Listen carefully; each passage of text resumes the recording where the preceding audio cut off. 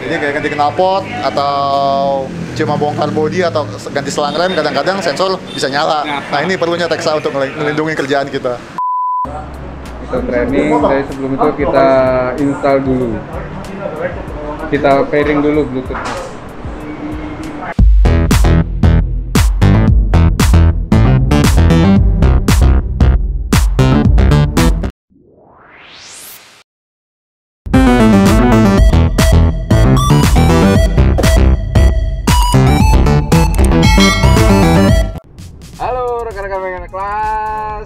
Dari Sabang sampai Merauke. Bagaimana kabarnya? Semoga sehat-sehat selalu, usahanya lancar selalu. Amin, amin, amin ya robbal alamin. Oke, nah hari ini saya akan eh, delivery, berikut instalasi, berikut juga training alat scanner TXB dari Texa. Nah ini agak sedikit customernya ini agak ada cerita menarik. Jadi beberapa tahun yang lalu saya pernah menawarkan produk uh, Texa, tapi karena rekan mekanik kelas ini bergerak di bidang aksesoris motor, pada saat itu mereka belum membutuhkan alat scanner. Karena ya, satu mungkin uh, apa ya bisa bilang dari teknologi motornya itu sendiri atau teknologi otomotifnya itu belum se se apa ya se secanggih sekarang lah kalau saya bilang itu. Jadi mereka saat itu beberapa tahun yang lalu tidak butuh, tapi sekarang mereka membutuhkan alat scanner gitu. Nah, jadi uh, alat scanner ini nggak tutup kemungkinan nggak hanya khusus bengkel enggak ternyata uh, toko aksesoris pun membutuhkannya seperti yang udah-udah ada beberapa toko yang sudah pakai itu seperti One Tree di Serpong itu juga Tiara Sultan di Cengkareng. Itu sudah pakai Texa karena yaitu tadi. Kebutuhannya sudah berbeda. Oke? Nah ikutin terus kegiatan saya hari ini. Nanti kita akan apa ya trainingnya instalasinya kegiatan kita hari ini. Tonton terus. Oke? See you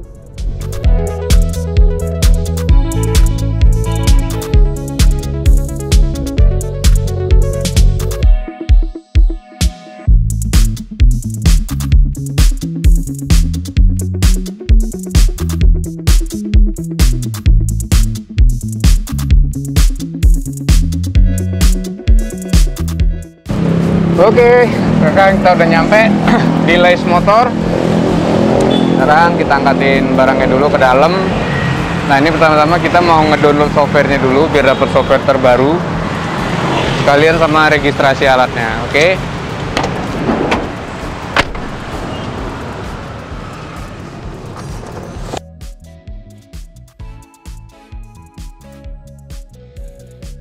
Nah ini kita mau download software dulu sama install aplikasinya. Setelah itu kita registrasi alatnya. Jadi enaknya Texa itu registrasi saat eh, apa ya bisa dibilang di hari yang sama gitu. Jadi untuk hitungannya itu untuk warantinya garansinya. Terhitung itu tanggal hari ini. Oke.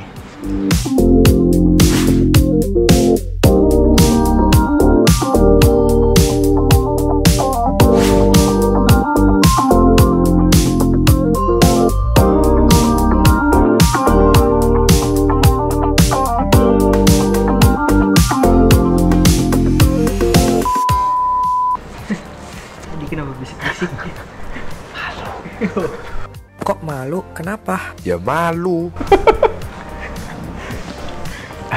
Ini kita udah selesai install, download dan install, registrasi juga udah. Sekarang saatnya next eh tahap selanjutnya itu kita pairing Bluetooth di laptopnya ke alatnya dan itu harus langsung ke motornya. Berarti kita harus turun lagi ke bawah.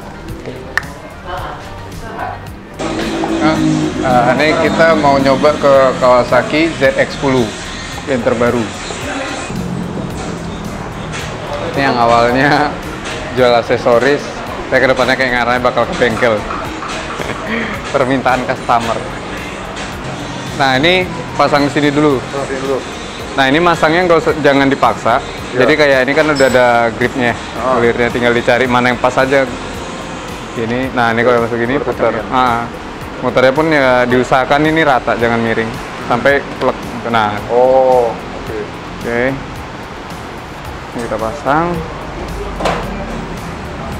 Pakainya yang merah yang ini.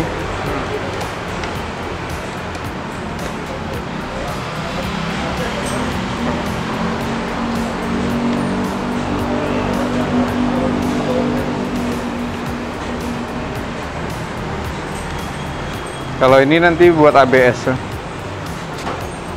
Pakainya soketnya yang satu lagi. Yang Oke. kemarin yang 6 pin. Jadi bisa cek kinerja ABS dari sini juga, Pak ya? Bisa dari sini. Ini engine, ini ABS.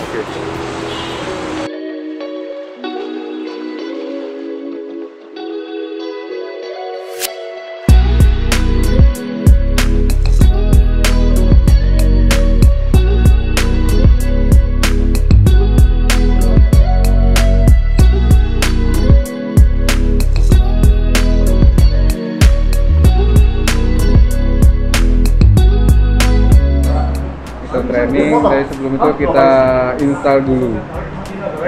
Kita pairing dulu Bluetooth.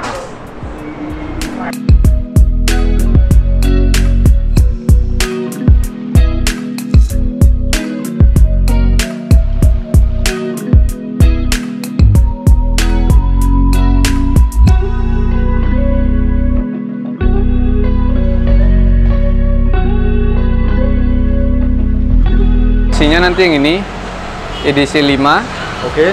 ya double klik. Kebuka. Tampilannya gini. Kita klik yang baik. Terus pilih tipenya. Kategorinya apa? Karena ini bisa buat ATV dan lain-lain. Jet ski juga bisa. Motorcycle baru kita pilih brandnya. Oke. gitu. Dari sini ada apanya abjadnya Kawasaki. Kita pilih Kawasaki Itu pilih modelnya nanti pilih tahunnya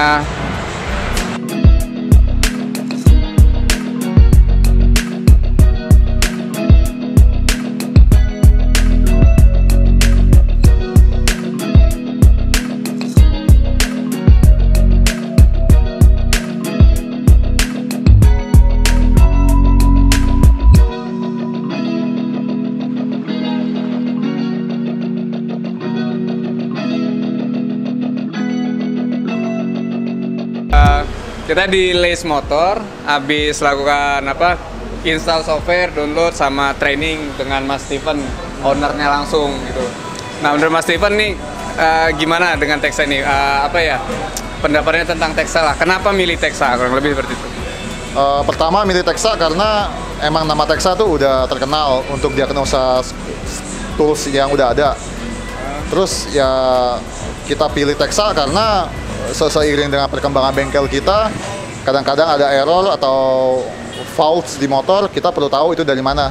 Jadi kita ada tahap awal untuk memperbaiki, nggak nggak nggak langsung acak-acak motor customer, tapi kita udah tahu dari Texa ini apa yang error langsung kita perbaikin dari situ. Oh, lebih ke ke proteksi karena walaupun cuman bongkar-bongkar eh, body atau apa tapi teknologi motor sekarang udah lebih sensitif mas. Betul. Jadi kayak ganti knalpot atau cuma bongkar bodi atau ganti selang rem kadang-kadang sensor bisa nyala. Nah. Ini perlunya Texa untuk melindungi kerjaan kita. Yang biasanya kirim ke luar ya buat. Iya, biasanya buat kirim keluar kota atau apa, ya kita beresin dari sini. Ah, mantap, mantap, mantap. Nah terus untuk sesi trainingnya gimana mas? Sesi trainingnya oke banget karena dari produknya juga gampang, penjelasan Pak Ade juga mudah dipahamin. Jadi menurut saya, jadi semuanya memang benar-benar udah gampang, udah tinggal pakai aja. Iya, hampir semua orang bisa pakai kalau menurut saya. Wah, asik. Iya. Oke, baik gitu aja. Thank you, Thank you. Ah, Mas Rifan. Nah, jadi itu sesi kita hari ini, kegiatan kita hari ini.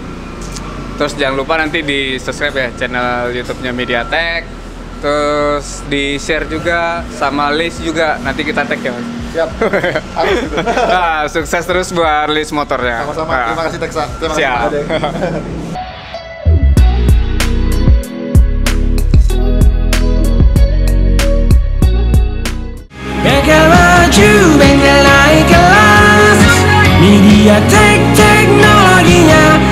teknologinya Bengkel profesional, bengkel naik kelas MediaTek, take